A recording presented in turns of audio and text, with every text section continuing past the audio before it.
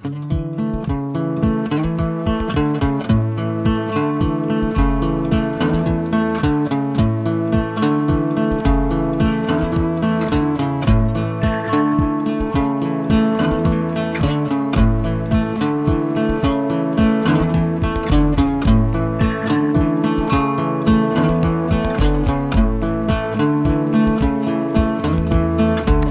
I am Leila Roberts, Director of the North Coast Small Business Development Center. We have been working in the North Coast for 35 years now.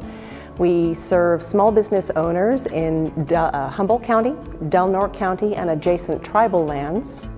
And the way we work is fairly simple. It's really hard to start a business on your own, to grow your business without special advice, and to buy or sell a business, and we exist to help with all of that.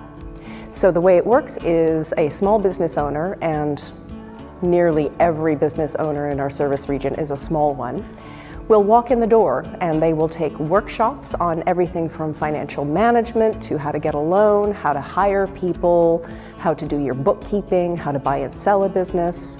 But the real bang for the buck comes when you sign up for one-to-one -one business consulting. We hire experts, people who have owned and run their own businesses, people who are experts in marketing, in bookkeeping, in business succession, and more.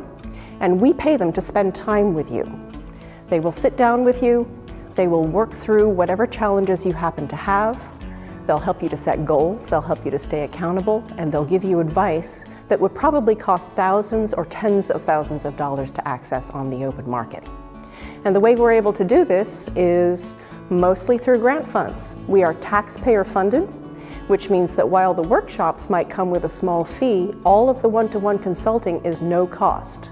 You've already paid for it, so we really encourage business owners to come and sign up for services that essentially belong to you. We are a public good.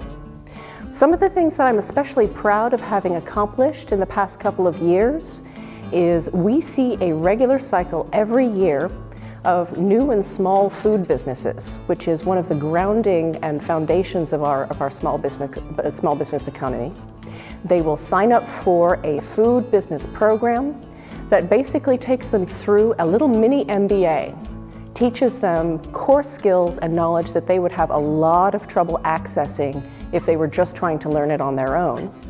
And then we release them into the world with a big food fair encouraging local buyers as well as the public to come and, and taste the next generation of Humboldt's food businesses.